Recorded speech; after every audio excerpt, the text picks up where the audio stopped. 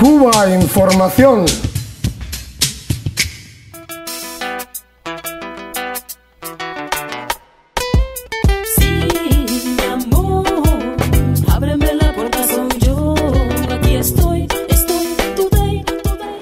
Uh, uh, Estamos aquí con Petro Petrov Simonenko, secretario general del Partido Comunista de Ucrania. uh, Ukraine, um, and we want to Queremos hacerle algunas questions preguntas en torno a la situación de Cuba, Venezuela y Latinoamérica, también sobre Europa.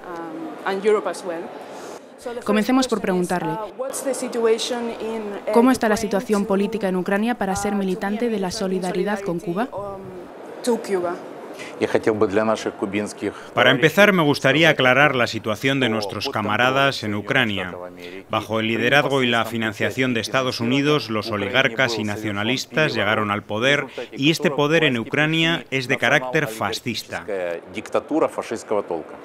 Como resultado, Ucrania está bajo control externo, ha perdido su potencial económico, se han perdido miles de empleos, lo que ha provocado muchas tensiones sociales en Ucrania, ya que los oligarcas, neofascistas y el crimen organizado tienen el poder.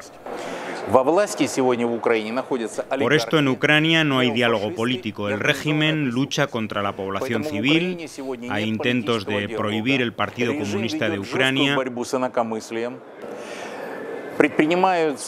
y más de 400 casos de agresiones o distintas formas de violencia contra los comunistas.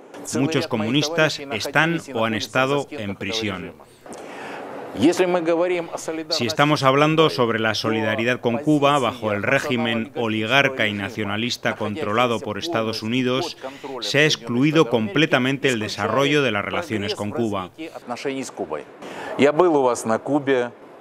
Yo he estado en Cuba y podría decir que el pueblo cubano es un increíble ejemplo de lucha por sus derechos.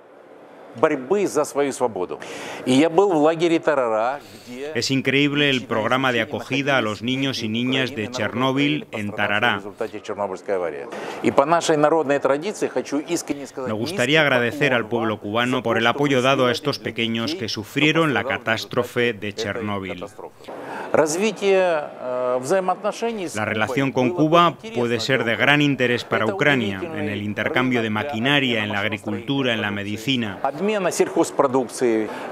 Tenemos muchas perspectivas para el desarrollo de las relaciones con Cuba, pero debido al régimen aliado a Estados Unidos se ha excluido completamente esta posibilidad de desarrollo.